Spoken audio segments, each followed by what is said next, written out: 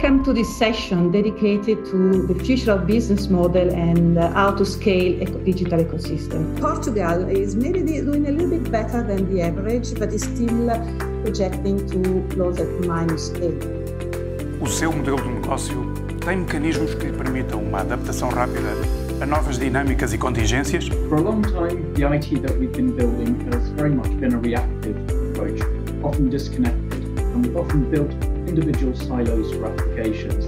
Well, the first thing is it's happening. In fact, it has been happening for a few years, but as it's happening, it is turning. Ninguém é confiável, eh, esteja dentro ou fora da rede. A anonimização dos dados que são trabalhados por ferramentas de análise é fundamental para garantir esta proteção. Definir os use cases que a organização tem, construir uma solução uh, e também alinhar as equipas. Moved on a completely different one. Uh, for instance, Cloud computing é a escolha de novas arquiteturas tecnológicas, de projetos digitais dentro das organizações. Ligarmos os negócios dos nossos clientes para os clientes deles. Como é que conseguimos avançar uh, e continuamente fazer esta digital transformation. Ecossistemas que são uh, suportados pelo digital, com tudo aquilo que as tecnologias nos trazem, mas acima de tudo também com a agilidade que temos que introduzir nestes processos. O projeto que trazemos é o projeto de estratégia de adoção de cloud no contexto da administração pública. Queremos introduzir um contexto de maior agilidade,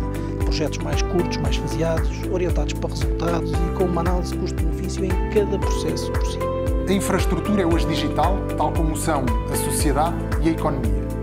E, por que não, uma infraestrutura verde e responsável? Let's take uh, all of that we have seen so far.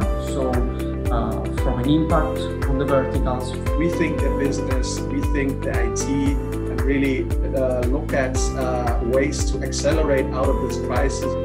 Os dados são o novo óleo o aproveitamento dessa, dessa nova informação ainda não é algo que esteja culturalmente enraizado dentro das nossas organizações. Entender o negócio, entender os dados e a preparação dos dados. Quais realmente são os meus dados que são valiosos e que vão gerar ações concretas para as empresas.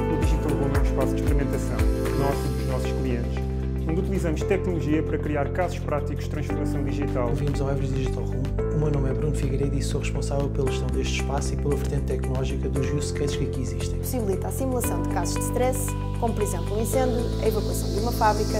Pode abrir um ticket ou inclusive, vamos imaginar, pode fazer o próprio reset de password no sistema em que está envolvido. É importante olhar para isto como um retorno de investimento contínuo para a organização. Que forma é que, por exemplo, uma entidade como a Startup Lisboa tem impactado as vossas atividades? Tantas empresas têm uma rede de mentores tão grande que torna muito mais fácil chegar a mais pessoas e falar com mais pessoas. Ok, testar, validar, ir para trás e para a frente. E temos que ter este mindset muito confortável com o desconfortável, não é? Com o facto de estarmos sempre a aprender. Fomos habituados no mundo tecnológico a tomar decisões rápidas e, e, e o tempo uh, é precioso e nós temos que fazer uh, de forma mais eficiente possível. Agradecer novamente ao IDC a, a presença e o convite para estarmos aqui presentes. Até à próxima.